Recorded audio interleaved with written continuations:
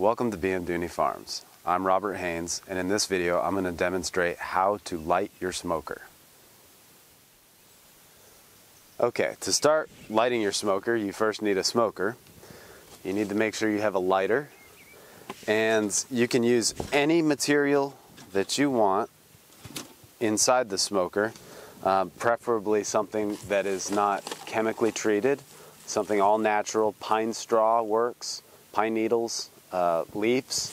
I like to use cedar shavings. Uh, you can find this at any pet supply store uh, and hardware stores also have this. And so what I like to use that because it burns longer and it does not throw uh, as many sparks as uh, pine needles. So to start, first put in a little handful of material, burning, that is going to be your burning material. And then take some paper and rip it into a couple pieces. And then you'll light it and drop it into your smoker.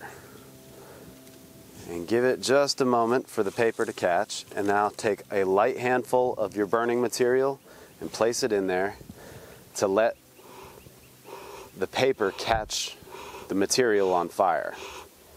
You don't want to put too much in because you will put the fire out that's on the paper. Once you start having the flames come out, you can put another handful into your smoker and gently squeeze the bellow. Once you have flame coming out, you can add a little more. Each time the handful is getting a little bigger.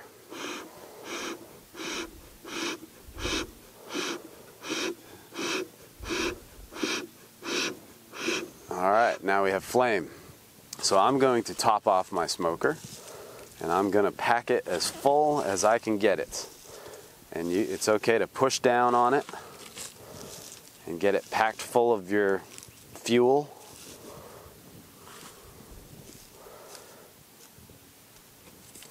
Now squeeze your bellow a little bit more and make sure that it's going to go. And when your smoke is really coming out of there thick, you've got your smoker started.